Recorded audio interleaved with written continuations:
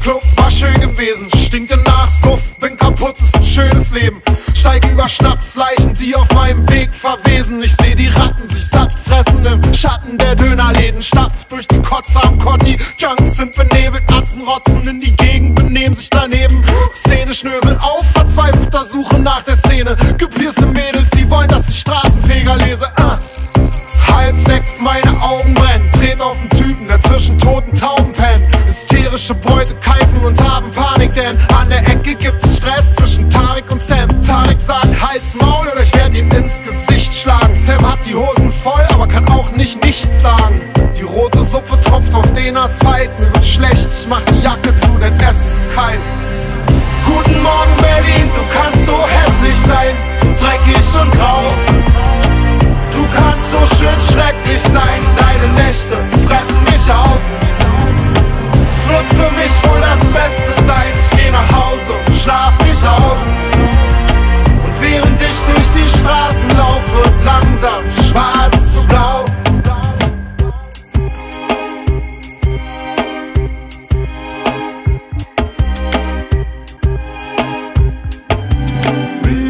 Gestalten im Neonlicht mit tiefen Falten im Gesicht. Die Frühschicht schweigt, jeder bleibt für sich.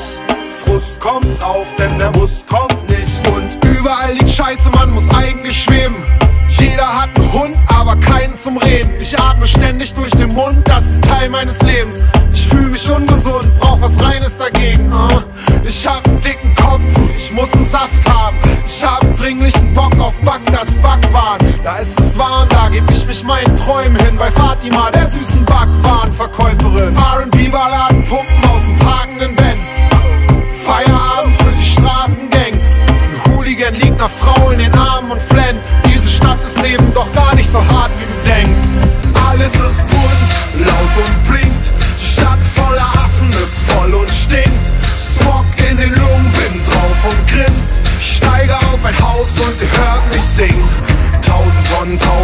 alles grau und versifft, jeden Müll ins Maul gekippt. Die Affen werden faul und dick, du bist nicht fit, dann wirst du gefressen, umgekaut, kurz verdaut und für immer vergessen. Ist mir egal, ich kann nicht mit dem Dreck und ohne kann ich auch nicht. Ich bin gut drauf, wie eine Horde Kinder ohne Aufsicht. Nervt mich der Lärmton, ich auf dem Fernsehturm und genieß die Aussicht.